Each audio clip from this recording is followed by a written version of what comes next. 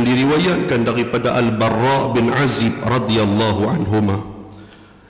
Katanya kharajna ma'a Rasulillah sallallahu alaihi wasallam fi janazatin rajulin minal ansar.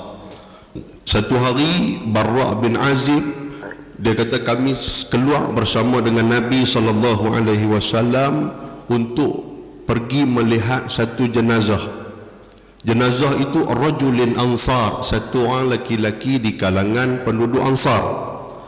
Ketika mana Nabi sallallahu alaihi wasallam bersama dengan Bara bin Azib dan sahabat-sahabat yang lain sampai kepada kubur dan di saat itu tuan-tuan sekalian kata Bara kami melihat kubur tu belum lagi ditanam dalam keadaan sepenuhnya.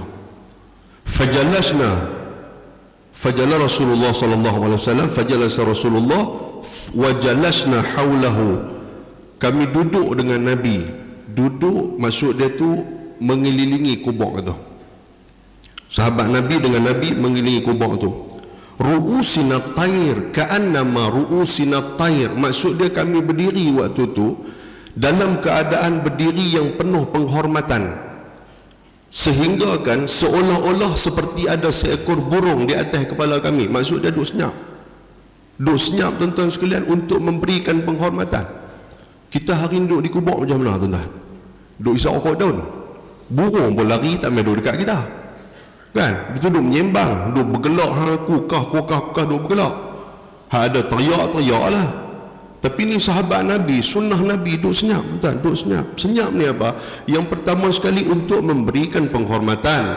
Lepas tu nak bagi kepada seluruh ahli waris ni tuan-tuan bila dia tengok kita ni dia pun rasa hormat kepada orang yang yang berada dalam keadaan akhlak yang baik yang ditunjukkan kepada ahli waris. Kalau kita pun duk bergelak duk apa, macam mana perasaan depa?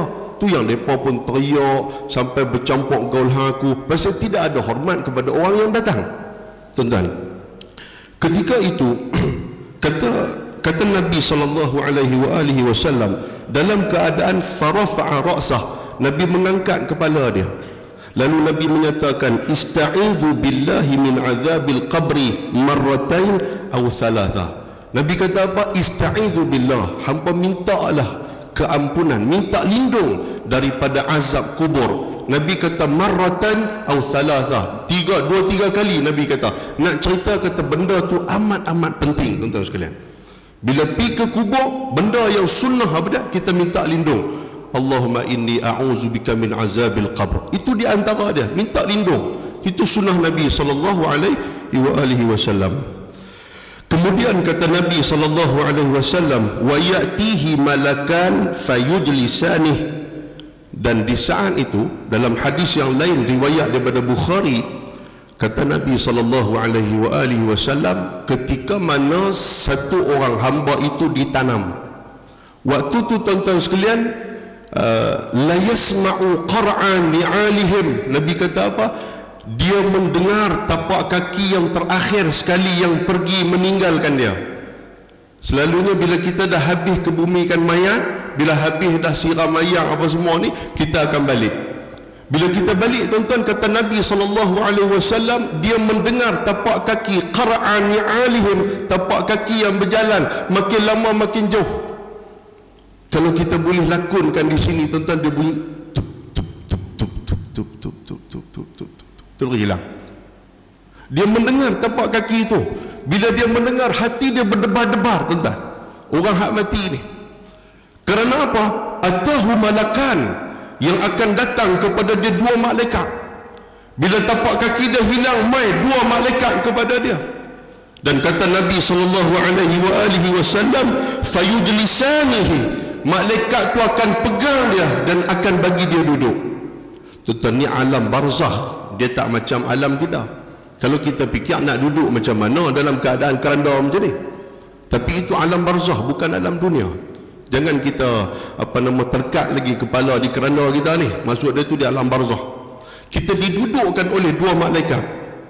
Maka di saat itu fayaqulani lahu maka Nabi kata apa? Malaikat itu akan berkata kepada kawan yang mati tadi ni. Man rabbuka? Siapa Tuhan kamu? Fayaqulu rabbi Allah. Tuhan aku adalah Allah dia boleh berkata-kata fayaqulani lahu madinuka malaikat tanya lagi madinuka apakah agama kamu Walaupun hang menyebut kata Tuhan itu adalah Allah Subhanahu wa taala tetapi kadang-kadang dalam waktu yang sama hang tidak beriman dengan agama Allah, hang lawan agama Allah walaupun pada hakikat dia hang kata Allah tu Tuhan hang. Ramai yang macam ni. Bila orang tanya siapa Tuhan Allah, tapi dalam waktu yang sama hukum Allah ditolak tepi kerana hukum itu datangnya daripada agama Allah. Ramai orang yang macam tu. Maka ditanya oleh malaikat Madinuka maka dijawab oleh si mati ini tuan-tuan sekalian dia kata dinil Islam agama aku adalah agama Islam dia boleh menjawab lalu malaikat tanya ma hadzal rajul alladhi bu'itha fikum dalam hadis Bukhari hadis itu tuan riwayat daripada Abu Daud. Hadis sahih riwayat Abu Daud. Hadis Bukhari kata apa? Malaikat itu datang dalam keadaan menggambarkan rupa bentuk baginda Nabi sallallahu alaihi wasallam. Dia tanya ma kunta taqulu fi hadzal rajul li Muhammadin sallallahu alaihi wasallam. Dia tunjuk gambar Nabi sallallahu alaihi wasallam lalu dia tanya, "Apa pandangan hang kepada dia ni? Hang kenal dah dia ni? Hang tahu tak siapa yang kami gambarkan kepada hang?" Lalu apa kata kawan ni tuan-tuan sekalian? Fayaqul dia kata apa? Huwa Rasulullah. Dia kata dia ni Rasulullah. Lalu malaikat bertanya kepada dia, wa ma yudrika macam mana hang boleh tahu sedangkan hang baru meninggal Nabi SAW 1400 tahun meninggal lama. Hang tak pernah jumpa dia. Macam mana hang boleh jawab? Malaikat tanya tuan-tuan sekalian. Apa yang dia jawab kepada malaikat? Qara'tu kitab Allah. Aku membaca kitab Allah. Maksud dia apa? Aku membaca tentang Nabi sallallahu alaihi wasallam dalam kitab Allah secara tak langsung tuan-tuan dia adalah orang yang sentiasa pergi ke majlis ilmu yang mengaji tentang Allah yang mengaji tentang kitab Allah yang mengaji tentang Nabi sallallahu alaihi wasallam. Kalau dia tak pernah mengaji macam mana dia nak jawab